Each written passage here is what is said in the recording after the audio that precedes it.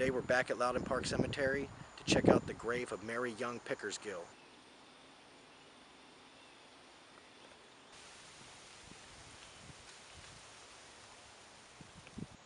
This thing is crazy big.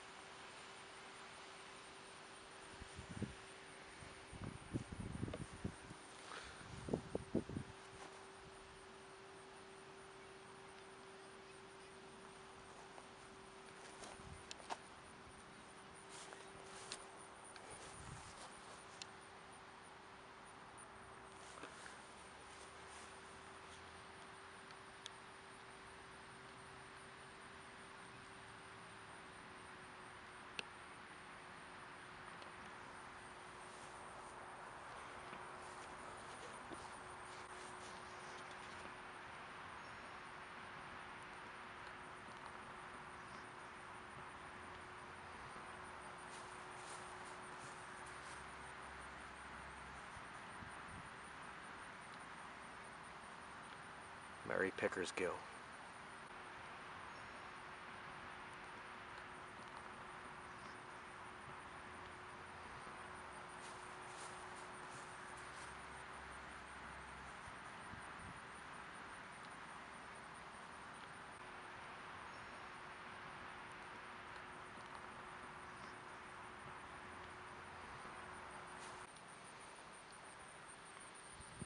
So this is the grave of the lady who made the Star Spangled Banner.